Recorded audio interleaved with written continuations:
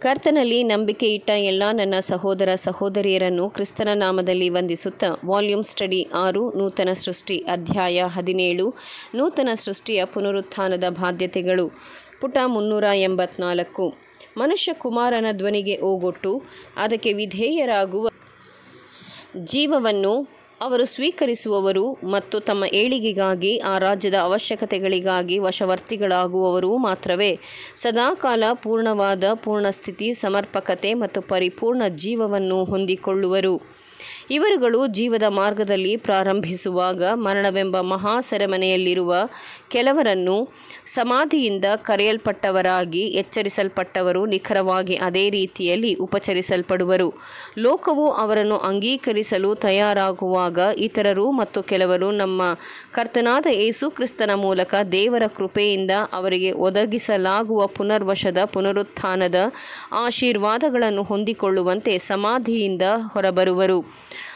ಆದರೆ ಈ ಎಲ್ಲ ಪ್ರಕರಣಗಳಲ್ಲಿಯೂ ಪರೀಕ್ಷೆಯು ಒಂದೇ ತೆರನಾಗಿರುತ್ತದೆ.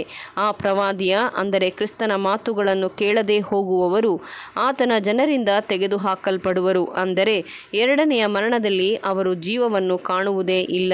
ಬದಲಾಗಿ ಆ ಪ್ರವಾದಿಯ ಮಾತುಗಳನ್ನು ಕೇಳುವವರು ಕ್ರಿಸ್ತನಲ್ಲಿರುವವರೆವಿಗೆ ಮತ್ತು ಆತನಿಗೆ ಸಂಪೂರ್ಣವಾಗಿ ಅಧೀನರಾಗಿರುವವರೆವಿಗೆ ಮರಣದ ಸ್ಥಿತಿಯಿಂದ ಅಂಗುಲ ಅಂಗುಲವಾಗಿ ಹಂತ ಹಂತವಾಗಿ ಎತ್ತಲ್ಪಡುವರು ಮತ್ತು ಅವರು ಪೂರ್ಣ ಪ್ರಮಾಣದಲ್ಲಿ ನಿತ್ಯ ಜೀವವನ್ನು ಪಡಕೊಳ್ಳುವರು.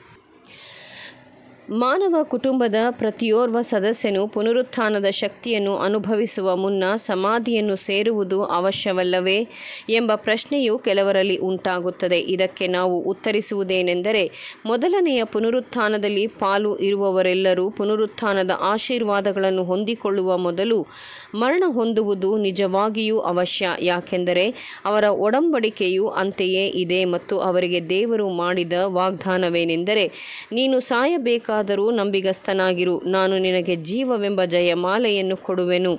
ಪ್ರಕಟಣೆ ಎರಡು, ಹತ್ತು. ನಮ್ಮ ರಕ್ಷಣಾ ನಾಯಕನಾದ ಕರ್ತನು ಮರಣದವರೆವಿಗೆ ತನ್ನನ್ನು ಜೀವವುಳ್ಳ ಬಲಿದಾನವಾಗಿ ಪ್ರತಿಷ್ಠಿಸಿಕೊಂಡಿದ್ದು ಮಾತ್ರವಲ್ಲ, ಆತನು ತನ್ನನ್ನು ಪ್ರತಿಷ್ಠಿಸಿಕೊಳ್ಳಲು ನಿಜವಾಗಿ ಮರಣವನ್ನು ಅನುಭವಿಸಬೇಕಿತ್ತು. ಇದೇ ತತ್ವವು ಆತನ ದೇಹವಾದ ಸಮಗ್ರ ಸಭೆಗೂ ಅನ್ವಯವಾಗುತ್ತದೆ ಮತ್ತು ಅವರು ಆತನ ಪ್ರಥಮ ಪುನರುತ್ಥಾನದ ಮಹಿಮೆಯಲ್ಲಿ ಪಾಲುದಾರರಾಗಬೇಕಾದಲ್ಲಿ ಕರ್ತನ ಸಂಕಟಗಳಲ್ಲಿ ಉಳಿದಿದ್ದನ್ನು ಅನುಭವಿಸಿಯೇ ತೀರಬೇಕಾಗುತ್ತದೆ. ಆದರೆ ಪ್ರಪಂಚದ ಮಾನವ ಜಾತಿಯ ಬಗ್ಗೆ ಹೇಳುವುದಾದರೆ ಅವರೆಲ್ಲರೂ ಪುನಃ ಸ್ಥಾಪಿಸಲ್ಪಟ್ಟು ಪುನರುತ್ಥಾನ, ಉನ್ನತ ಪ್ರಭಾವಗಳಲ್ಲಿ ಪಾಲು ತೆಗೆದುಕೊಳ್ಳುವ ಮುನ್ನ ಸಮಾಧಿಯನ್ನು ಸೇರುವುದು ಅವಶ್ಯವಿಲ್ಲ. ನಾವೀಗ ನೋಡಿದಂತೆ ಆದಾಮನ ಅವಿಧೇಯತೆಯ ದೆಸೆಯಿಂದ ಶಾಪವು ಬಂದಂದಿನಿಂದ ಸಮಗ್ರ ಲೋಕವು ದೈವಿಕ ದೃಷ್ಟಿಕೋನದಲ್ಲಿ ಸತ್ತಿದೆ ಎಂದು ಪರಿಗಣಿಸಲಾಗುತ್ತಿದೆ. ಪ್ರಸ್ತುತ ಕಾಲದಲ್ಲಿ ಇಡೀ ಲೋಕವು ಸೆರೆಯಲ್ಲಿದ್ದು ಮಾನಸಿಕ, ದೈಹಿಕ ಮತ್ತು ನೈತಿಕ ಬಲಹೀನತೆಗಳೆಂಬ ಬೇಡಿಗಳಿಂದ ಬಂಧಿಸಲ್ಪಟ್ಟಿದೆ.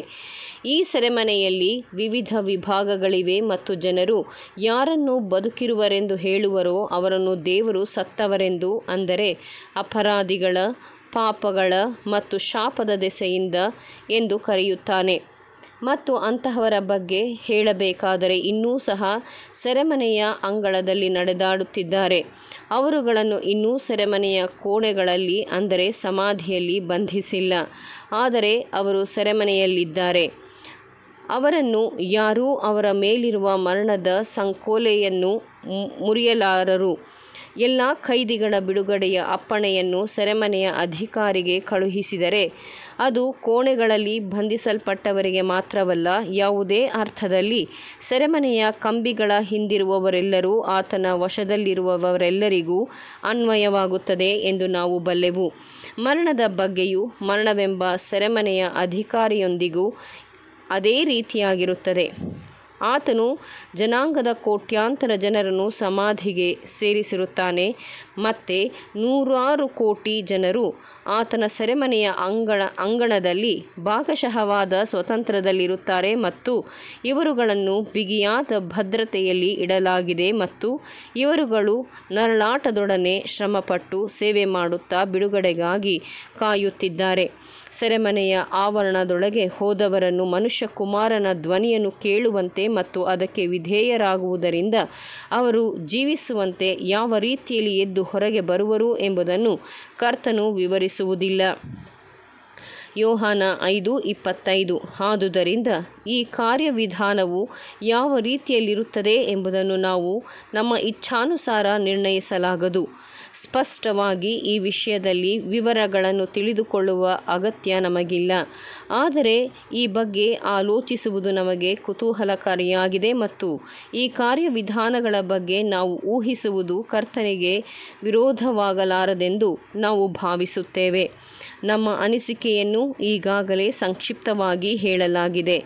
ಜ್ಞಾನದಲ್ಲಿಯೂ ಪ್ರೀತಿಯಲ್ಲಿಯೂ ಬೆಳೆಯುತ್ತಾ ದೇವರ ಅನುಗ್ರಹವನ್ನು ಪಡಕೊಳ್ಳಲಿರುವ ಪ್ರತಿಯೊಬ್ಬನೂ ಸಾಧ್ಯವಾದಷ್ಟು ಮಟ್ಟಿಗೆ ಇತರರು ವಿಶೇಷವಾಗಿ ತನ್ನ ಬಳಿಯಲ್ಲಿರುವ ತಮ್ಮ ಬಂಧುಗಳು ಆಶೀರ್ವಾದ ಹೊಂದಿಕೊಳ್ಳಲು ಸಹಕರಿಸುತ್ತಾರೆ ಎಂಬುವಂಥದ್ದೇ.